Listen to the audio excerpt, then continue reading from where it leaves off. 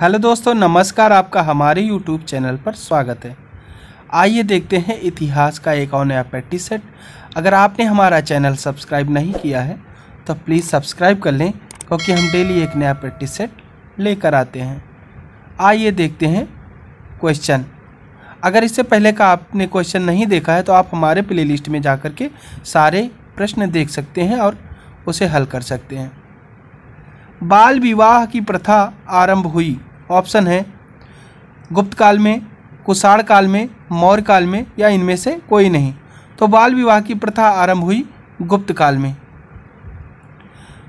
सोने के सर्वाधिक सिक्के किस काल में जारी किए गए थे? ऑप्शन है गुप्त काल में, कुषाण काल में, मौर्य काल में या हर्षवर्धन के काल में। तो सोने के सर्वाधिक सिक्के गुप्त काल में जारी किए गए थे। ऑप्शन ए आपका राइट आंसर हो जाएगा। किस गुप्त का कालीन, यानी किस गुप्त कालीन शासक को कविराज कहा जाता है? ऑप्शन है चंद्रगुप्त मौर्य, कनिष्क, समुद्रगुप्त या कुमारगुप्त। तो समुद्रगुप्त को गुप्तकालीन शासक को कविराज कहा जाता है। गुप्त राजवंश किस लिए प्रसिद्ध था? ऑप्शन है साम्राज्यवाद, कला एवं स्थापत्य, राजस्व एवं भूमिकर या ये सभी। तो गुप्त राजवंश कला एवं स्थापत्य के लिए प्रसिद्ध था। ऑप्शन बी आपका राइट आंसर हो जाएगा। मुजरिस किस राज्य का प्रमुख बंदरगाह था? ऑप्शन है चेर कदम्ब चोल या इनमें से कोई नहीं। तो मुजरिस चेर राज्य का प्रमुख बंदरगाह था। ऑप्शन ए आपका राइट आंसर हो जाएगा।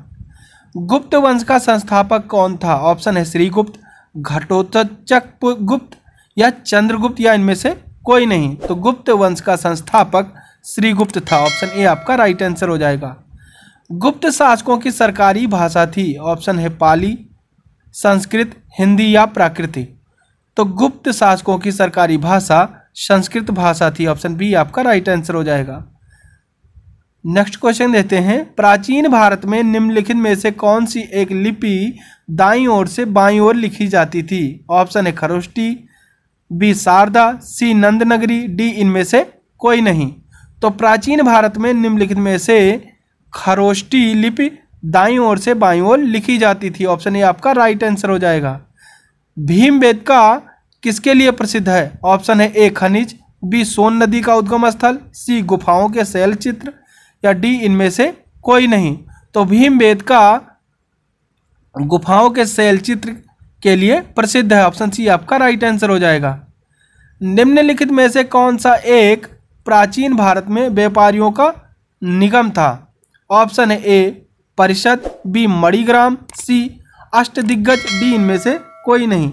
तो निम्नलिखित में से मणिग्राम एक प्राचीन भारत में व्यापारियों का निगम था। ऑप्शन बी, आपका राइट आंसर हो जाएगा। नेक्स्ट क्वेश्चन देखते हैं। मानव द्वारा सर्वप्रथम प्रयुक्त अनाज था। ऑप्शन है ए, चावल, बी, गेहूँ, सी, बाजरा, डी, जौ। तो मानव द्वारा सर्वप्रथम प्रयुक्त अनाज चावल था। ऑप्शन ए आपका राइट आंसर हो जाएगा। गुर्जरों को किस शासक ने पराजित किया? तो गुर्जरों को हर्षवर्धन शासक ने पराजित किया था। ऑप्शन बी आपका राइट आंसर हो जाएगा। गौतम बुद्ध द्वारा भिक्षुड़ी संघ की स्थापना कहाँ की गई थी? ऑप्शन है ए, सारनाथ में, बी, कपिलवस्तु में, सी वैशाली में, डी या इनमें से कोई नहीं। तो गौतम बुद्ध द्वारा भिक्षुड़ी संघ की स्थापना कपिल वस्तु में की गई थी। ऑप्शन बी आपका राइट आंसर हो जाएगा। नेक्स्ट क्वेश्चन देखते हैं। गौतम बुद्ध ने अपना प्रथम उपदेश कहाँ दिया था? ऑप्शन है ए, कुशीनगर, बी, बौद्ध गया, सी, वैशाली, डी, सारनाथ। तो गौतम बुद्ध ने अपना प्रथम उपदेश सारनाथ में दिया था। ऑप्शन डी आपका राइट आंसर हो जाएगा। अगला प्रश्न देखते हैं। बौद्ध धर्म एवं जैन धर्म दोनों के उपदेश किसके शासनकाल में दिए गए थे? ऑप्शन है A, Ashoka, B, Bindusara, C, Akbar, D, Bimbisara. तो बौद्ध धर्म एवं जैन धर्म दोनों के उपदेश बिंबिसार शासनकाल में दिए गए थे। ऑप्शन डी, आपका राइट आंसर हो जाएगा। महावीर की मृत्यु कहाँ हुई थी? ऑप्शन है कुल गुमलय, B, Pawapuri, C, Lumbini, D, इनमें से कोई नहीं। तो महावीर की मृत्यु पावापुरी में हुई थी। ऑप्शन बी आपका राइट आंसर हो जाएगा। सिद्धार्थ को ज्ञान प्राप्ति कहाँ हुई थी? ऑप्शन है सारनाथ, बी गया, सी वाराणसी, डी कुशीनगर। तो सिद्धार्थ को ज्ञान की प्राप्ति गया में हुई थी। ऑप्शन बी आपका राइट आंसर हो जाएगा। भागवत संप्रदाय के विकास में किसका योगदान अत्याधिक था? ऑप्शन है ए, हिंदू यूनानी, B, Kushan, C, Parthian, D, Gupta. तो भागवत संप्रदाय के विकास में हिंदू यूनानी का योगदान अत्याधिक था। ऑप्शन ए आपका राइट आंसर हो जाएगा। महात्मा बुद्ध किस क्षेत्रीय कुल के थे? सॉरी यहाँ क्षेत्रीय ना होकर के क्षत्रिय हो जाएगा। तो महात्मा बुद्ध शाक क्षत्रिय कुल के थे। ऑप्शन सी आपका राइट आंसर हो जाएगा। निम्नलिखित में से प्राचीनतम राजवंश कौन सा है? ऑप्शन है कुषाण बी मौर्य सी गुप्त डी कौण तो निम्नलिखित में से प्राचीनतम राजवंश मौर्य राजवंश है। ऑप्शन बी आपका राइट आंसर हो जाएगा।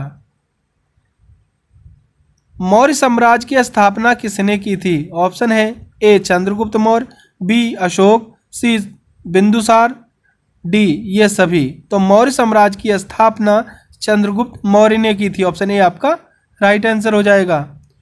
मौर्य साम्राज्य में प्रचलित मुद्रा का नाम क्या था?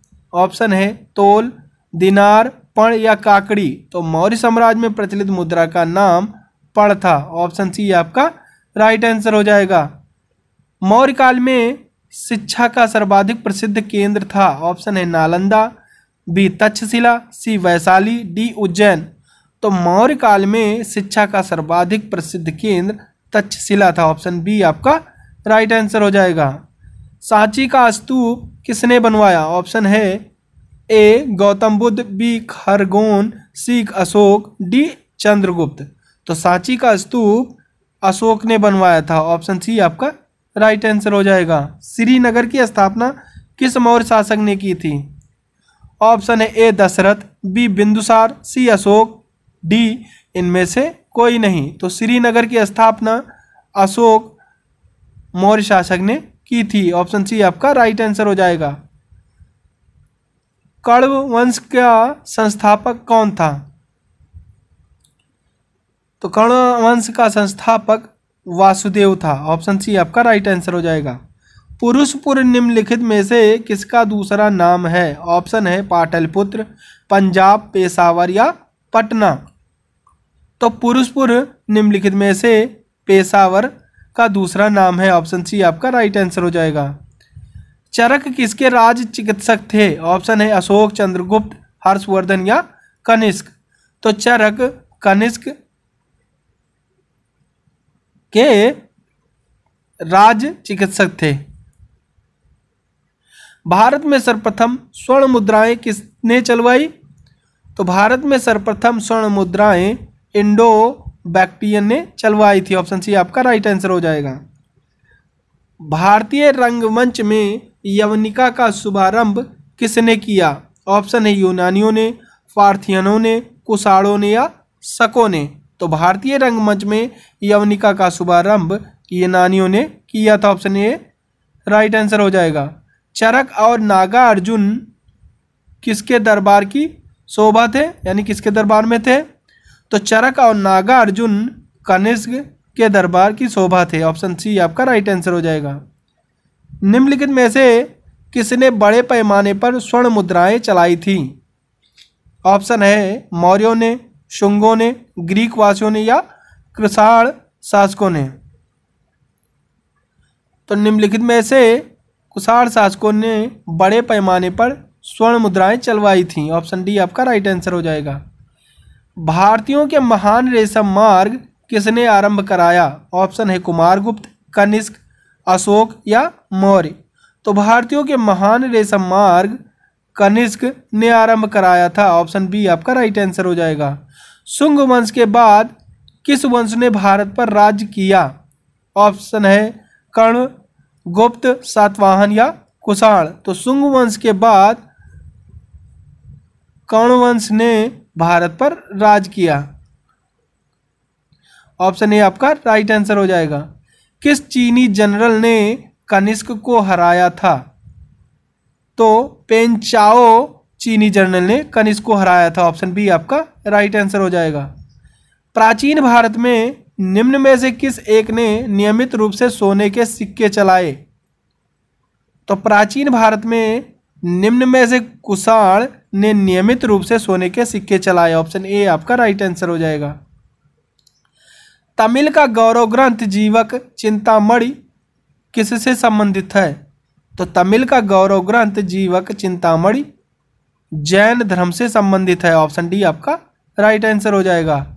निम्नलिखित राजवंशों में किसका उल्लेख संगम साहित्य में नहीं हुआ है? तो निम्नलिखित में राजवंशों में कदम्ब का उल्लेख संगम साहित्य में नहीं हुआ है। ऑप्शन सी आपका राइट आंसर हो जाएगा। गुप्त वंश का वह राजा कौन था जिसने हूड़ों को भारत पर आक्रमण करने से रोका?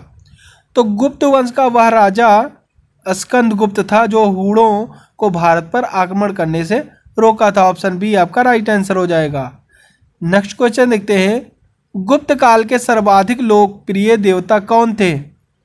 तो गुप्त काल के सर्वाधिक लोकप्रिय देवता विष्णु थे। ऑप्शन सी आपका राइट आंसर हो जाएगा। तो thanks for watching my video अगर आपको हमारा ये वीडियो पसंद आया हो तो प्लीज़ इसे लाइक शेयर कमेंट ज़रूर करें। और चैनल पर नए हैं तो सब्सक्राइब करना बिल्कुल ना भूलें। Thank you